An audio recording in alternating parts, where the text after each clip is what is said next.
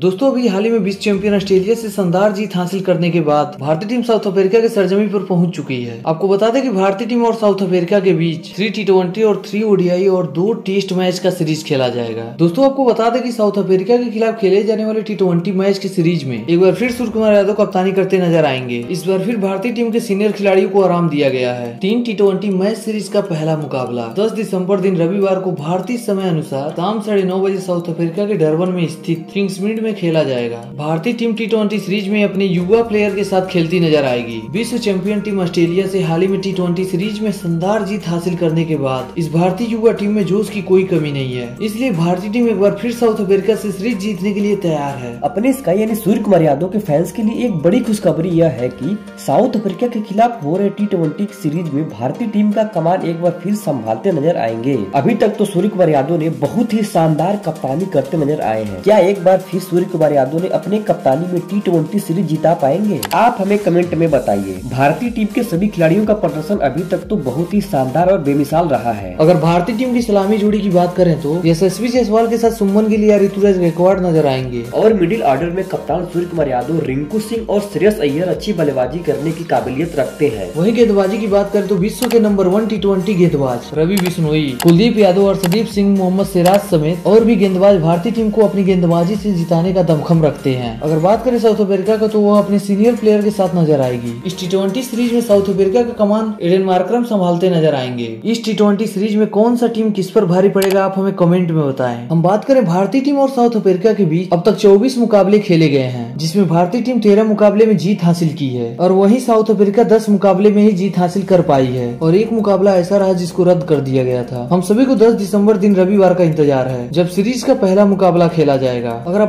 भारतीय टीम के सपोर्टर हैं तो वीडियो को लाइक करें। और साथ ही क्रिकेट से रिलेटेड सभी तरह की जानकारी के लिए हमारे चैनल को सब्सक्राइब करें और बेल आइकन को प्रेस करें ताकि हमारा वीडियो आप तक सबसे पहले पहुँच सके।